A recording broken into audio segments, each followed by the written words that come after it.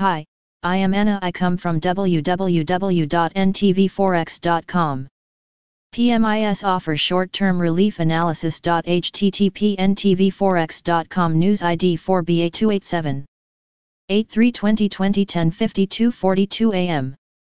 A mixed start to trading at the start of the week as attention shifts back to how economies are coping with the economic reopening.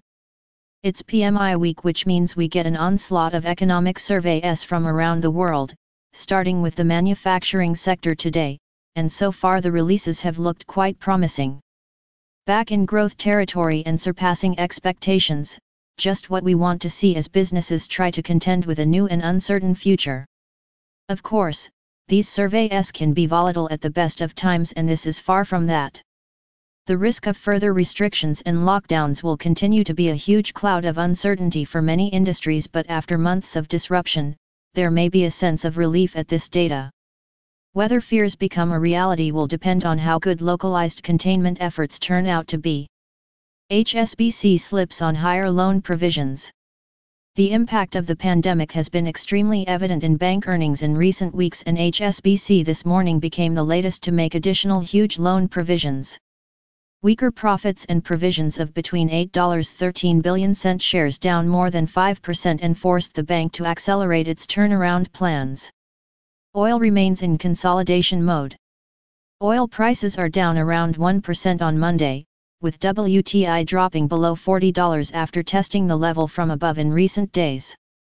The rebound we've seen in the dollar over the last couple of sessions is likely weighing on oil prices which have, broadly speaking, been peaking around the $40 mark for a couple of months. As long as we remain in the $38.42 range in WTI, there's no reason to think we're out of the consolidation period for crude. Gold takes another run at $2,000. The dollar bounce has certainly taken the edge off gold, although not before it took another run at $2,000 early in the session. This feels like a very natural place for gold to be experiencing some profit taking after hitting a new record high last week but there's nothing to suggest we're going to see a larger pullback at this stage.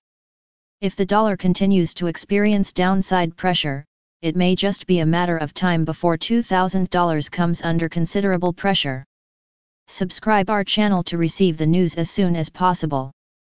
Thank you for watching. If you want to read real-time news, text messages to MT5 Expert Advisors page at https m.me mt5.expert.advisors.